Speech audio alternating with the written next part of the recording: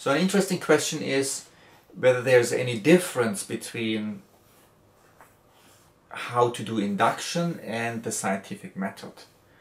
And in my opinion, they're very closely related. So science is to a very large extent about induction. I mean, scientists analyze data and try to explain this data, usually via models which they extract from the data. And um, that's exactly what the induction does. You know, induction infers general models from specific data. So in this sense, science and induction is synonymous. Um, the difference is that if you talk about induction, you usually mean um, or are interested in a formal normative theory, while you know science is done in many many ways. You know, the, you have descriptive theory of science, how science is done actually. Then there's normative theory of science, um, and this normative theory of science, formal induction should play and plays a major role. But then there's more to science, um, a little bit more. So that's about experimentation. So you just not always just get the data and try to infer your models, but you can do experiments. Yeah? Even looking around, deciding where to look, you know, is an action. Yeah? So um, science also includes this active part, so it goes beyond induction, also to decision making and planning. I mean, you plan some experiments for many, many years in advance. And in a sense, then science resembles, so a simple science maybe, so the inductive side of science resembles Solomonoff induction or could be formalized by Solomonoff induction, while um, science, the more experimental part, or if you include the experimental parts, corresponds then more to AIXI, because AIXI is also a system which learns and plans.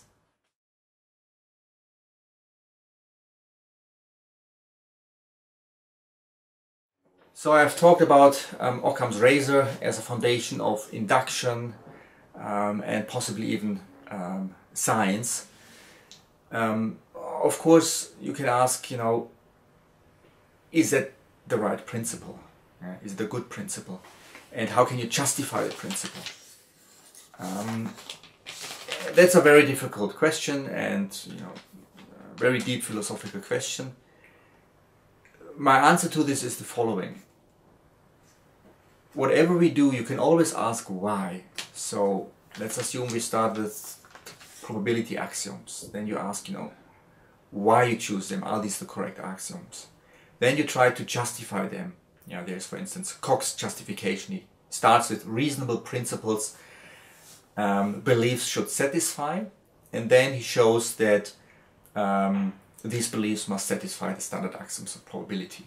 But then you can ask why are these um, initial axioms of Cox are reasonable. And then maybe you come up with another principle which justifies them, but you can ask why, why, why, why, yeah? And in order to prove or justify something, you have to start, you make some assumptions. Yeah? And there's an infinite regress. And the only way to solve this, at some point you stop and say, these are the axioms or principles I take, and then I consider what are the consequences. And if these consequences, you know, are good or useful or true or whatever you desire, you know, then you stop questioning them. I mean, you can still ask, you know, are there better axioms? Um, can we reduce the number of axioms and so on? Yeah, but uh, the majority of researchers then would go just on. You know, we have the Peano axioms of the natural numbers. We could ask why are these correct, you know, um, but you know, natural numbers are so useful, yeah, you, you, you just take them for granted.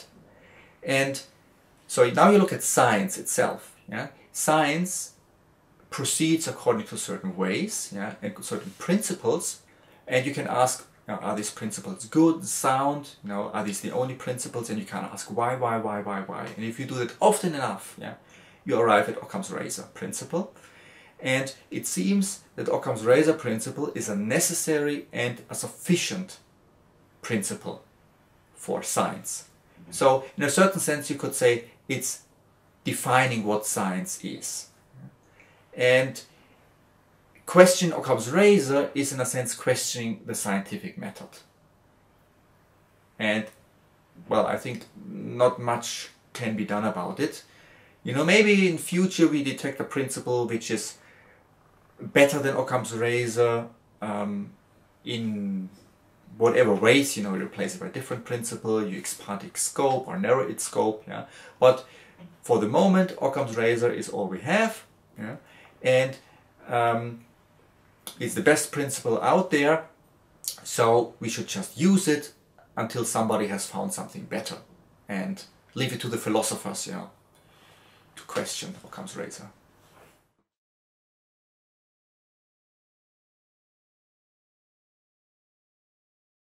Now, of course, there have been various, mostly philosophical arguments put forward why general AI is not possible or will never um, happen.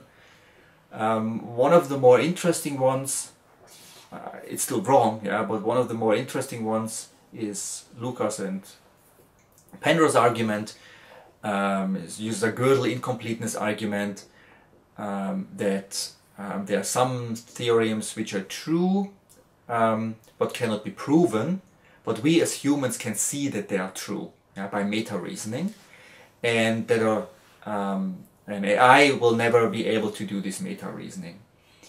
And um, I think that is seriously mistaken. Um, it starts already with the wrong premise that a human being is a perfect rational deductive reasoning system. Yeah? and that's wrong you know on at least two accounts yeah? Um, we are not perfect yeah? And we are also also quite limited in what we can prove. I mean yes we have proven fermat's theorem but p equal np is still open yeah? So we are rather limited.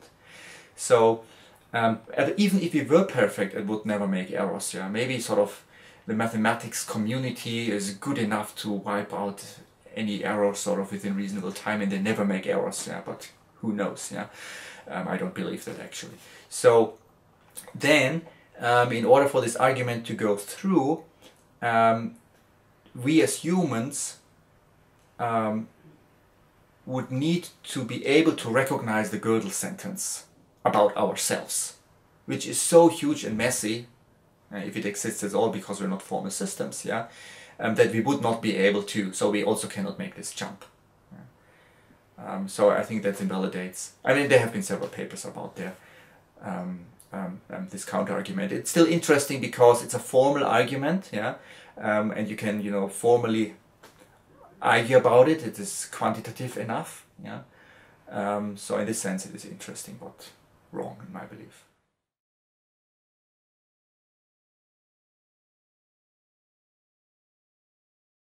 I mean, there are many interesting philosophical questions around AI. Um, one is free will, for instance. You know, do humans have free will? Yeah. Can a robot have free will? Um, so these are two questions, and each question could be answered yes or no. This is four possible answers. Yeah, I can sort of narrow down the space of answers to two easily. Yeah, if you believe a human has free will, also an intelligent machine has free will, I believe. Yeah. If you believe a human does not have free will, then a machine will also have not free will. Yeah.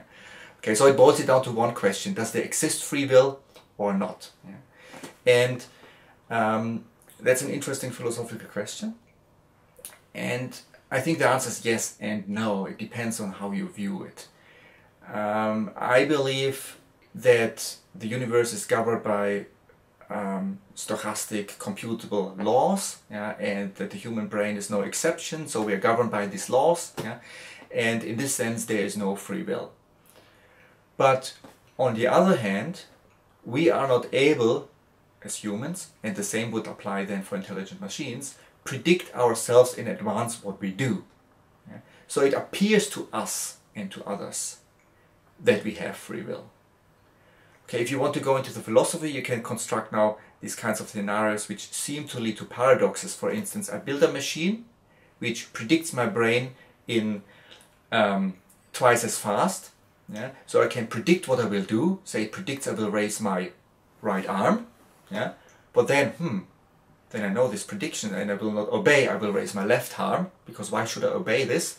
So either the prediction is wrong, yeah, um, um, or something else happened. But in any case, sort of, it was not a perfect predictor. So um, contradicting um, uh, the assumption that there exists such a predictor, that the, that there's no free will, or that the universe is computable.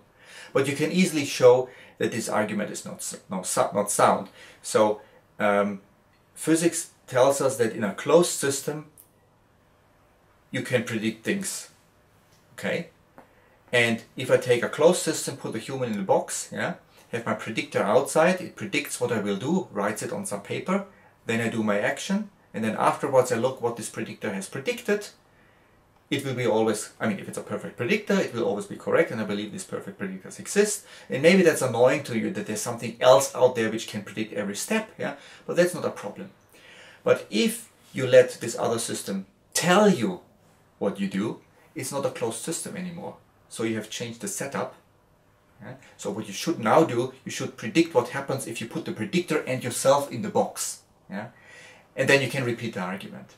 So, so this argument that if somebody tells me what I will do and then I don't obey, that this argument shows that there must be something like free will is not sound.